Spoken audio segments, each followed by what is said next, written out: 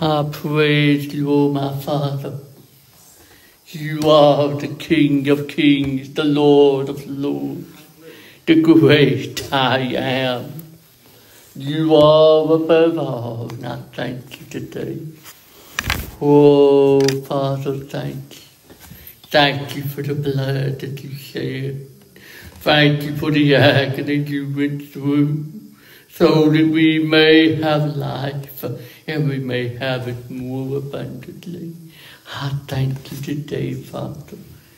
In Jesus' name. Amen. Happy Resurrection Sunday to each and every one of you.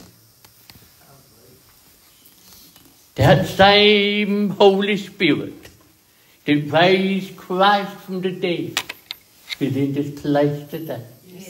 To quicken us, to empower us to be the vessels the Father wants us to be. If you have your Bibles today, open with us to, I, know this is going to seem like a strange Easter message, to a place to go to for an Easter message, but open to First Peter chapter 1.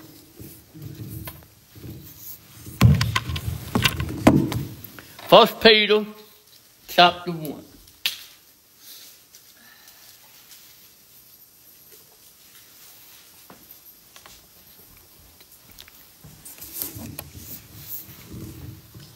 First Peter chapter 1, if you would stand for the reading of God's word and remain standing as we pray. First Peter chapter 1, start with verse 3.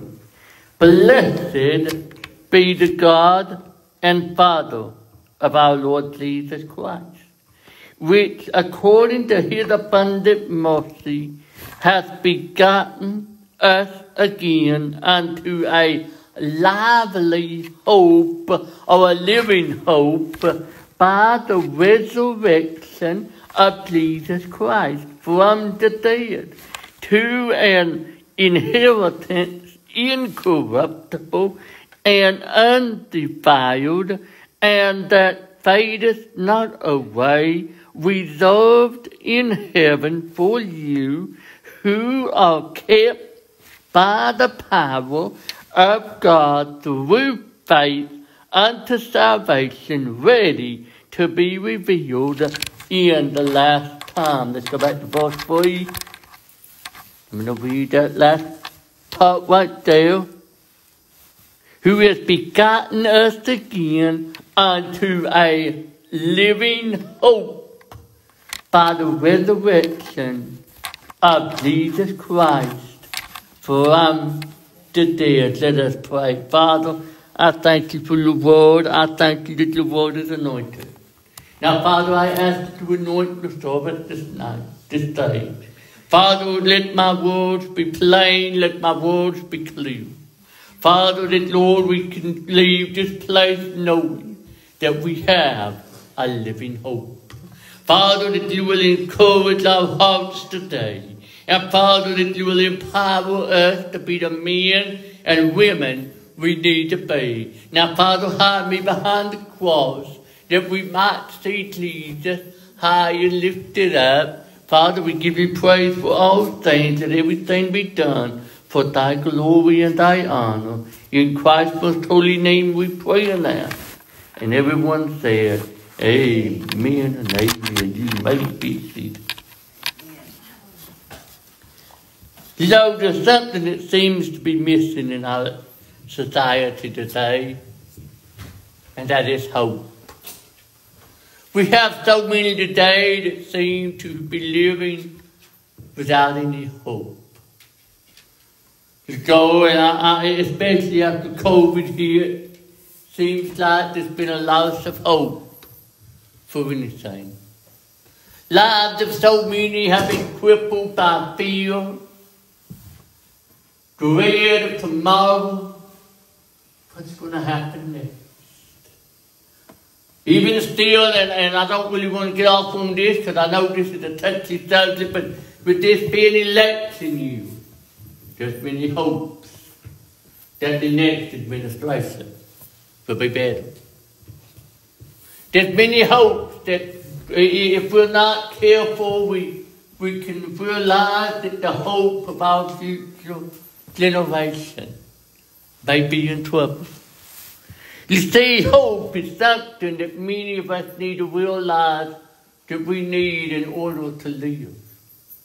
Doctors and scientists have proven that if a patient is taken and if once, if they've ever been given a death sentence, if you will, for lack of a better way to say that, if they've ever been told they've only got so long to live or whatever, or even if they've not been told how long, but even if the doctors have said there is nothing else we can do, if that person ever loses hope, that post is gone almost like that. It has been shown and proven over and over again. In, in preparing for this message, I, I come across an article online that I, I thought was, would, prove it real good. I can't remember the other people's names, but the, uh, the, there was a story about a grandfather who was healthy, he was married, had a bunch of grandkids. And he was went to the store one morning and as he was coming out, he started feeling a little weird. And by the time he got to his car, he fell to the top parking lot with a heart attack. Massive heart attack. Some of the other customers seen him quickly started getting calling 911. Some started doing CPR and and he was without oxygen for over seven minutes. They rushed into the emergency room and the doctors came in and told the grandmother that he, he, he, it's a hopeless situation. He's not going to make it. He's, he's not going to live. You might as well just take him off the life support. They done put him on that. He, he's not going to live. He's not going to make it. But she decided I'm going to hold on. I'm not going to give up. She said, there's still hope. And she continued to hold on, and days went by. I believe it was about 90 days. I think it was about three months went by. The doctor kept telling us, listen, it, it, it, it's hopeless. We're not trying to be ugly, but it's hopeless. He said, no, I'm holding on. I'm holding on. But on that 94th day, he, he woke up. He was in a coma. He woke up. Began to talk. They said, okay, it's going to be some really brain damage. He began to talk. They brought in a cell phone. They had pictures of all his grandkids. He named every single one of his grandkids. He told what year it was. He told who the president was. I mean, they barraged him with all kinds of questions. He answered every single one. That mother had, that grandmother had held on with hope. But you see, too often people lose hope uh, in the midst of the situation. And we say it's beyond hope. Uh, and we begin to just prepare for the water. But friend, we can never lose hope. The whole message of the resurrection gives us hope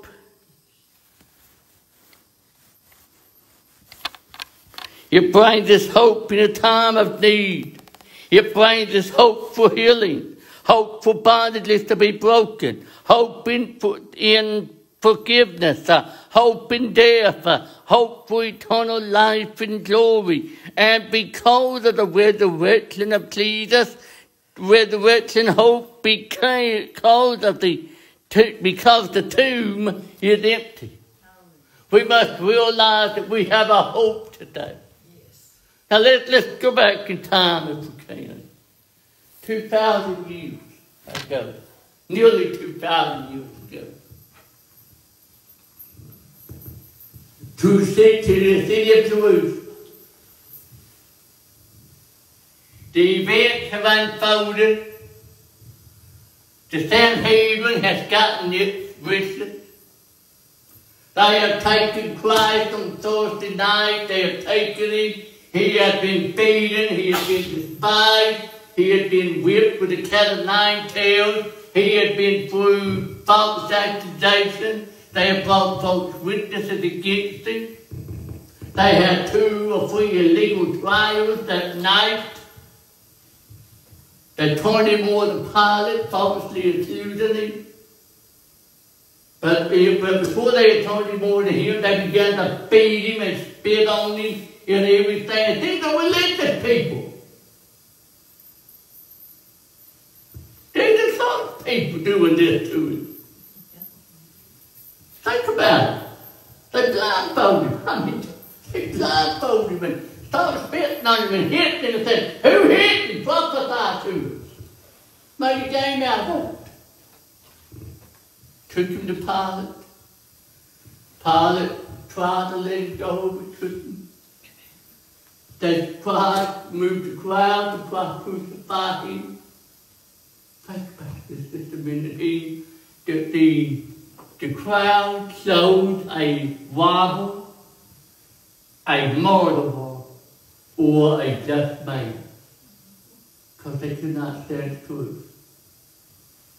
They took him, they nailed, they took him and put him before the uh, platoon of soldiers that took him and they literally ripped his back open with a whip and a cat of nine tails.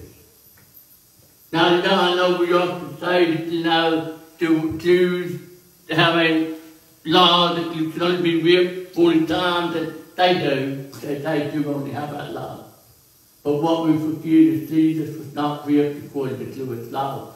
He was whipped according to Roman law. The Romans had no such law. They could whip you die. But they whipped him. The Bible says his visage, his form, his body was so torn, ripped open, so bloody. They had a crown of thorns upon their backs, on his forehead. They had drove in with a rod, hitting him over the head. And they mocked. Kneeling before him, saying, Hail, King of the Jews. Making fun of Put a purple robe around him, making fun of Then took that robe off of him. Took him and they took him, put a heavy cross on him, took him to that cross. Nailed the pipes in his hands and feet. And hung there for six hours between heaven and earth. Bear in mind your sins. Hope seemed to be lost for the disciples. The disciples said, you know, this was our hope. As a matter of fact, if you read Luke 24, when Jesus appealed to two of them on the road to Emmaus. And he sees them sad. This is after the resurrection. He sees them sad and everything. Begins to talk to him, And one of them is named Cleopas. And Cleopas said, we had hoped that he would be the one to redeem Israel. They've seen him die.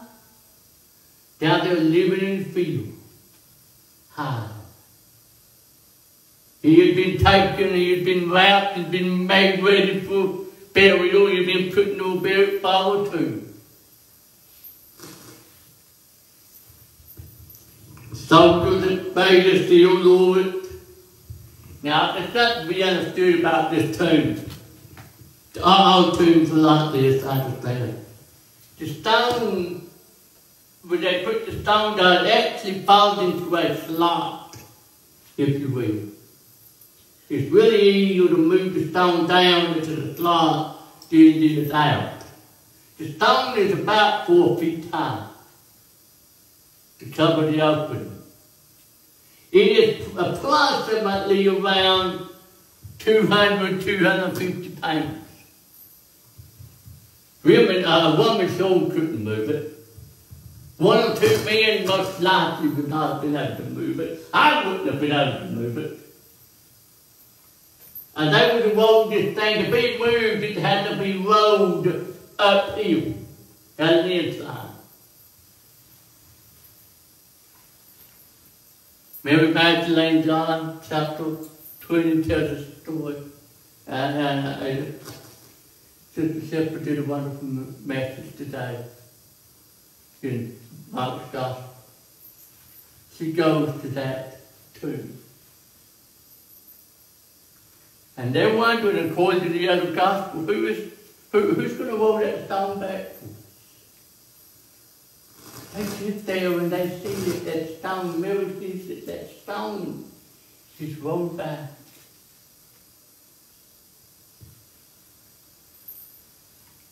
And goes and tells the young disciples, according to the Gospel of Matthew, uh, Gospel. But Mary, after Peter and John come and see him, according to the Gospel of John, they see no one in, they see the tomb is empty, they see the white clothes are rolled up, the napkin around the head is folded up. They leave, but Mary is still at that tomb, according to John. She looks in there, her eyes, tears flowing. The Bible says she looked in and she seen two men for the body of Lamb. She did, and I asked her, woman, why are you weeping? She because they're taking my Lord away and I don't know what they laid him. Can I tell you something about uh, when we lose hope, grief, pain and sorrow? Sometimes it can cause, it can blind us to the obvious. Even though we fall for us.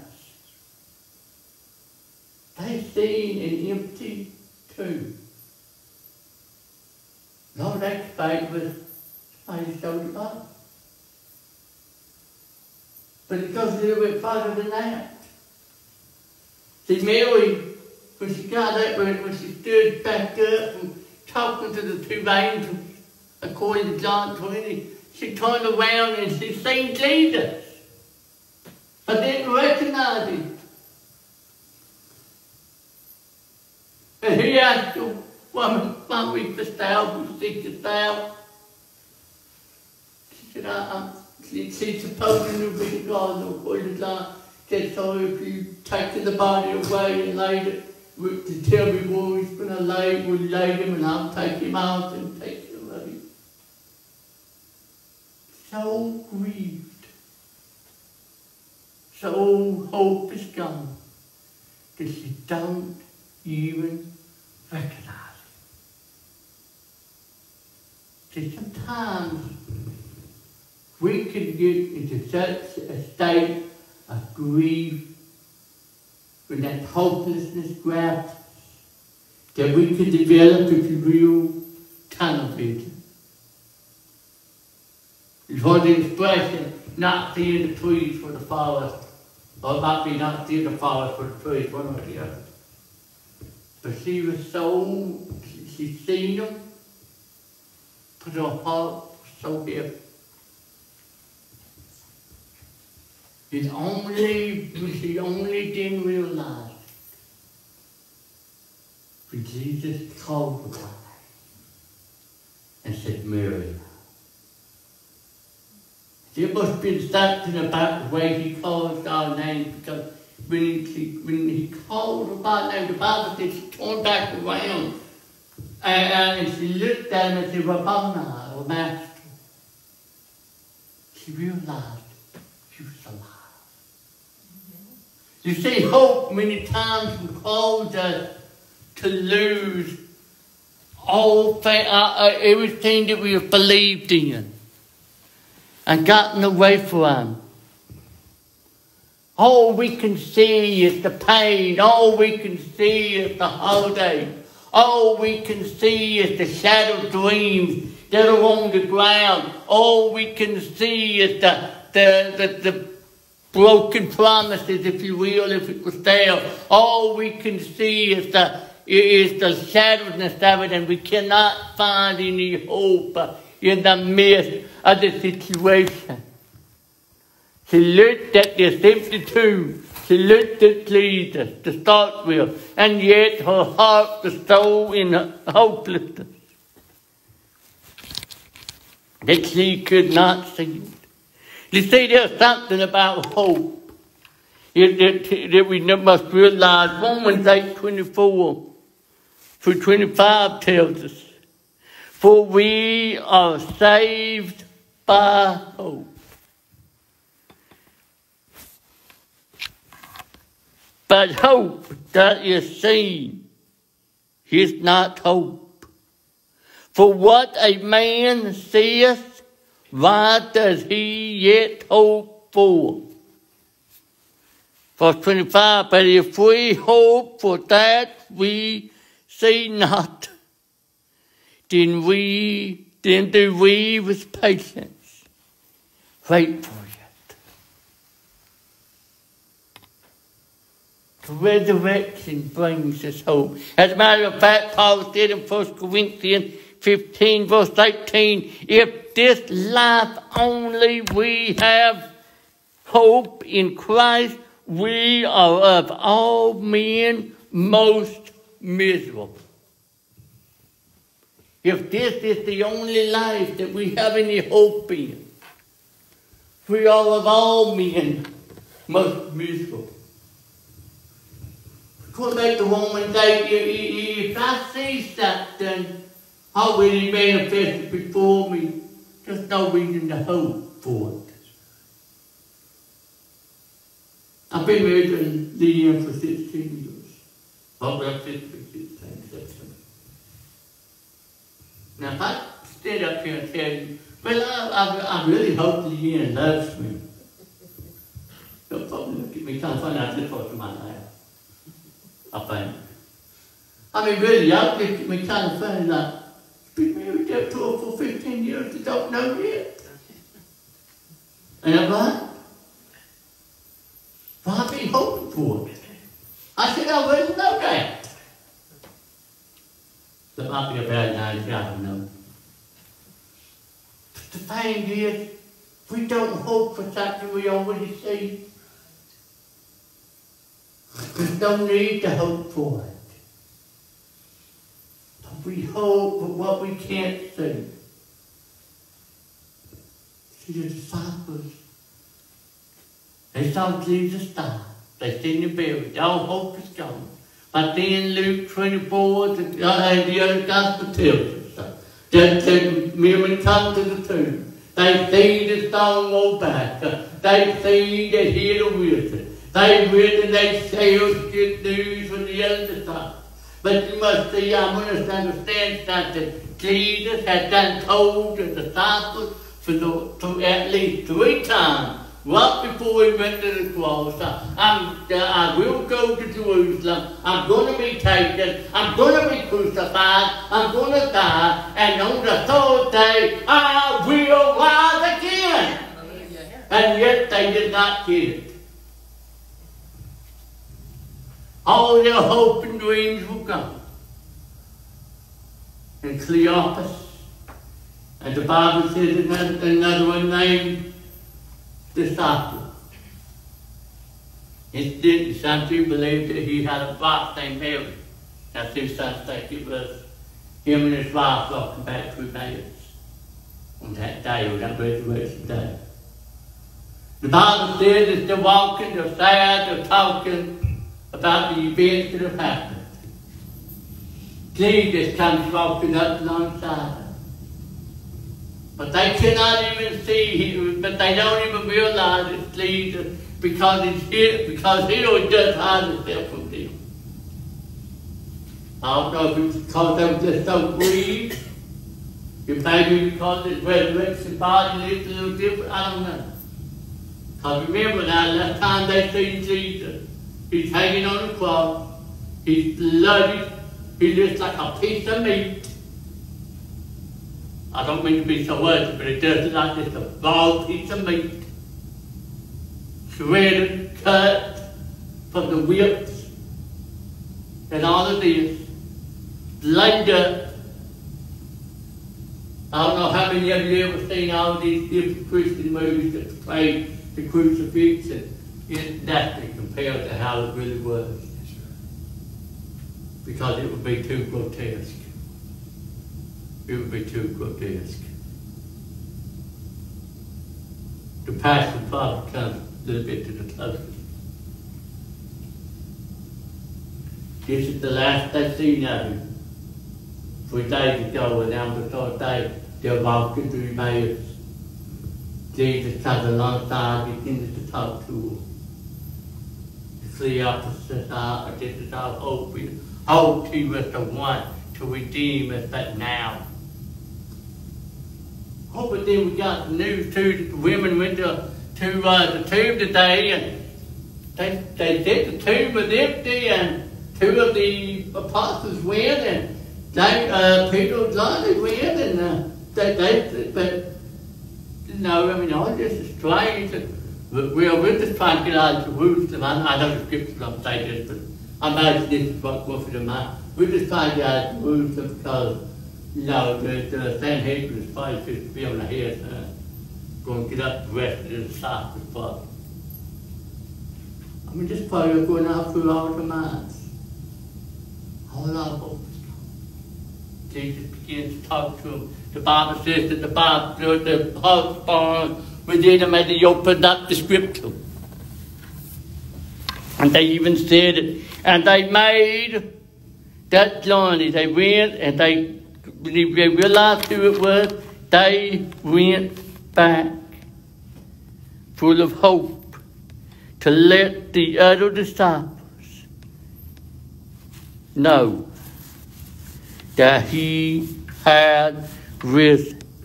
When you lose hope, all you see is the emptiness of the situation.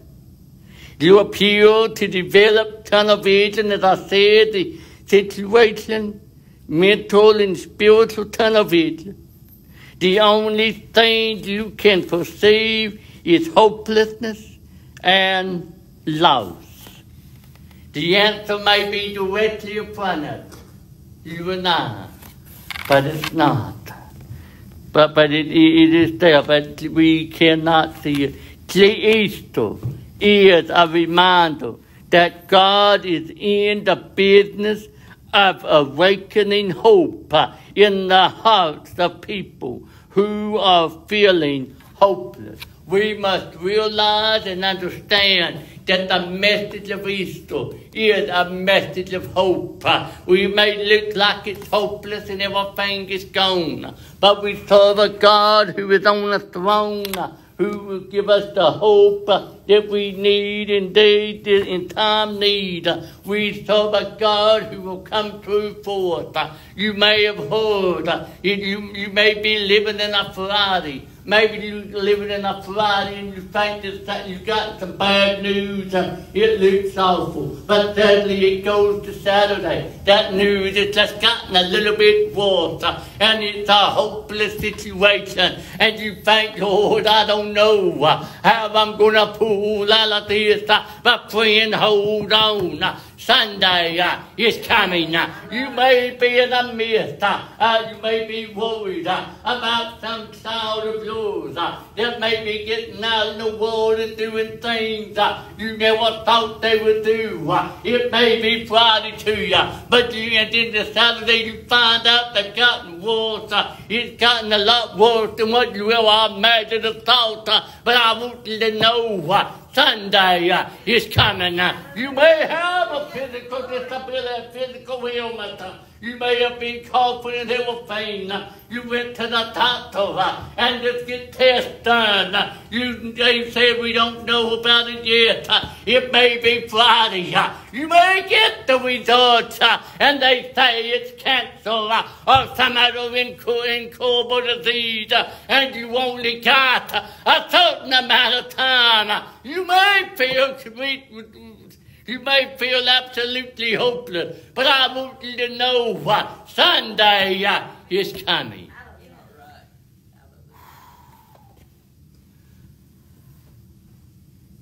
Whatever that situation may be,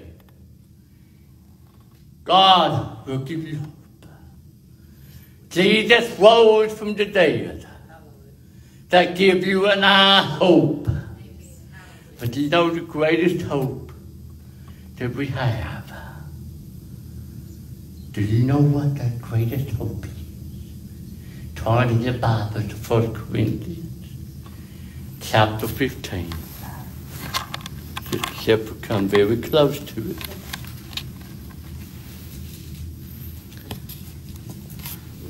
Second Corinthians chapter 15.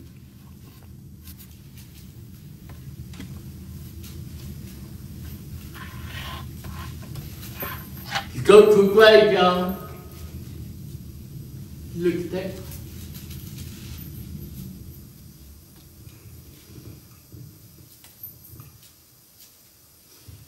Grass is so cold. Final. Especially when it's when love.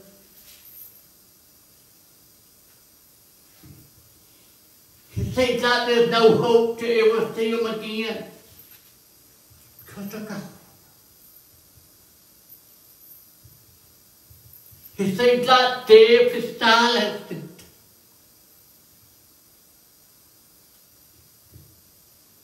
Like the wind. Fly. How? It looks so cold. So fine. There is a finality. There is in the natural sense. There is a finality to death.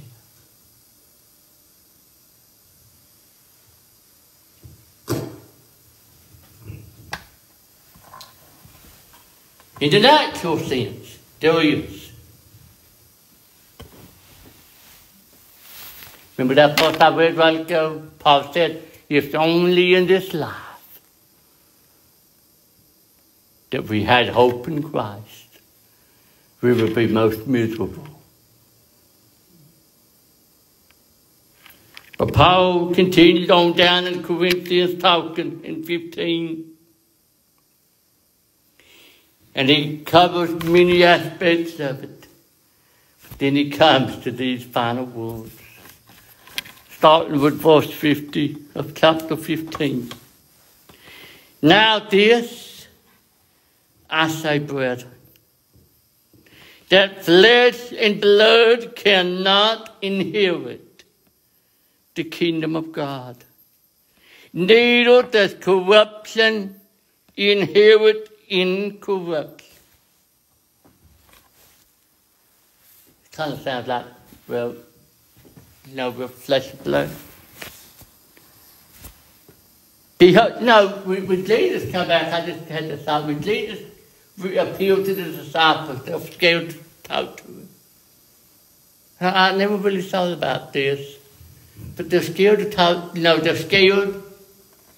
And he, he's gives them his hands, he just handed me, and you see, I've got flesh and bones. The spirit don't have flesh and bones. He doesn't say he has blood anymore. But he still leads in all of this. 51. Behold, I show you a mystery. Have you got something to something? We shall not all sleep. Those that are going on in Christ are sleeping, my friend, according to the Bible. They're not dead. But we shall all be changed in a moment, in the twinkling of an eye, at the last trump, for the trumpet shall sound, and the dead shall be raised incorruptible. Woo! Think about it. One day there's going to be a sound of a trumpet. Mm. And it could be very soon here. A trumpet's going to sound.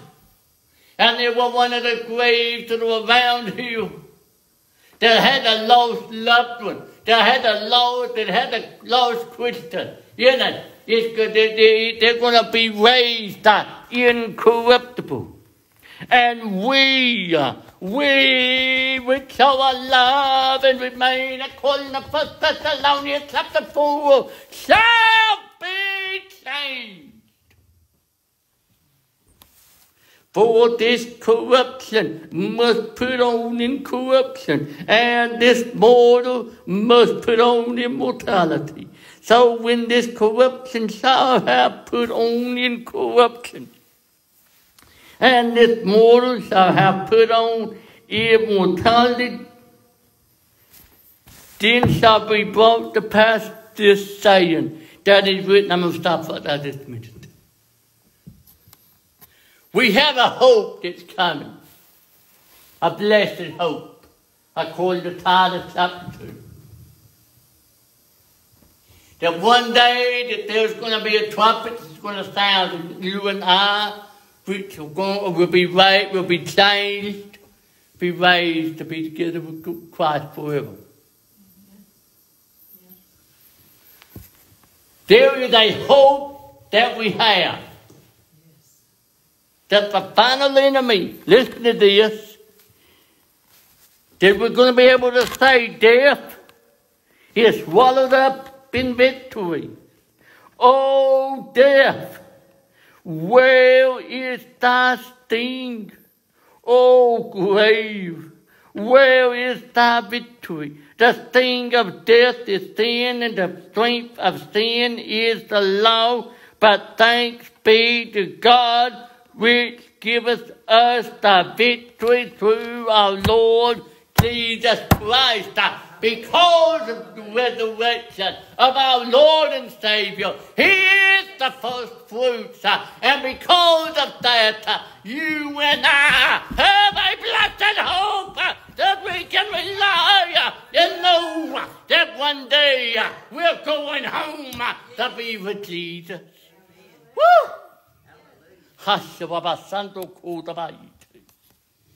Oh my.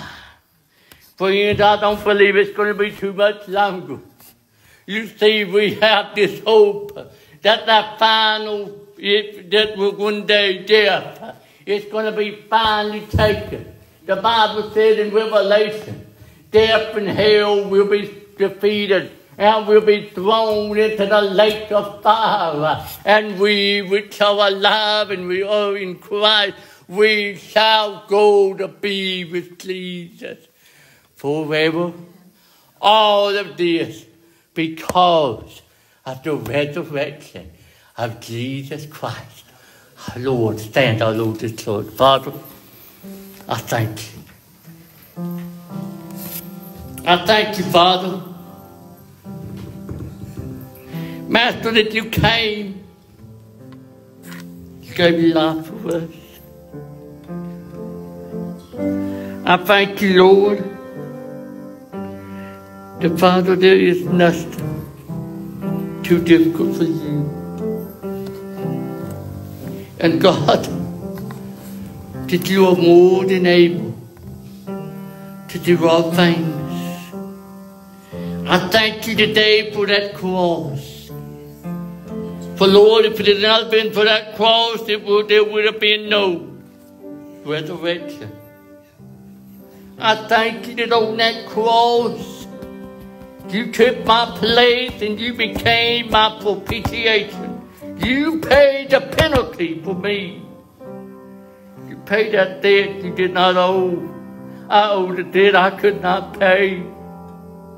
I thank you for that today. I thank you that even when it seemed all hope was lost, that on that third day, something took happen in that tomb. Death was cast aside. You came forth victoriously from the grave with power over death and hell. You have the keys of life and death.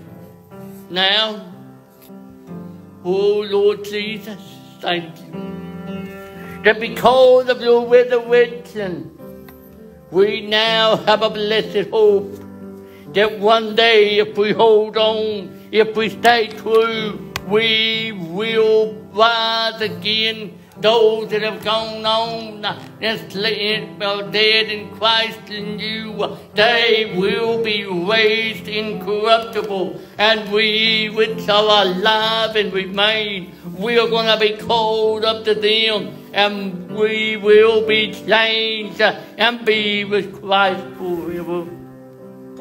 Father, I thank you. I thank you for it right now, Master.